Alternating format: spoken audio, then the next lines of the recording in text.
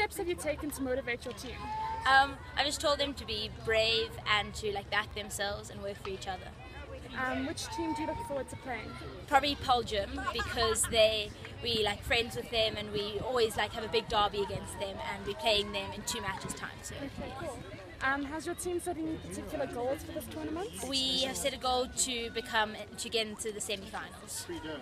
Um, what is the best advice you've been given in preparation?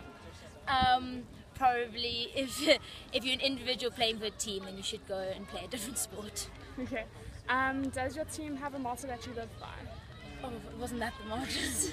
Bruce. Okay, so he's our mascot, and it just like it's an acronym that um, says what what we believe. So um, B is belief, and then R is resilience. U is unity. Um, C is composure. composure, and E is encouragement.